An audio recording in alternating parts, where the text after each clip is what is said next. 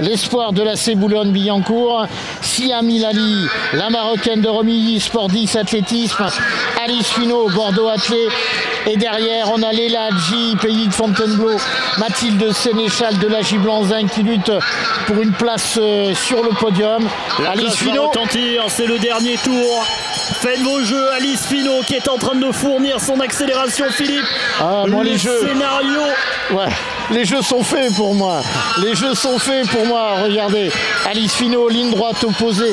Quelle superbe foulée. Attention à la Marocaine qui nous a déjà gratifié d'un superbe finish, que ce soit sur 3000 et 1500. Regardez dans le virage là-bas, Alice Finot ou Siam. Euh, Ilali, la Marocaine, Alice Finot va non seulement remporter la course devant une athlète marocaine, mais qui remporte brillamment. Voilà, elle le voulait ce titre, elle l'a eu.